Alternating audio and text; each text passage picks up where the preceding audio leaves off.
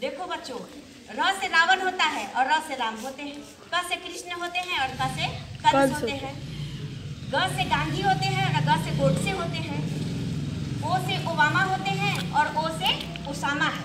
लेकिन दोनों के कर्म अलग अलग हैं। अच्छे कर्म करो आगे बढ़ो। इन्हीं शुभकामनाओं के साथ जय हिंद जय भारत।